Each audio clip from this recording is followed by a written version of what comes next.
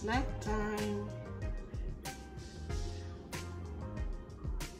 I thought I'd get a little snack for tonight.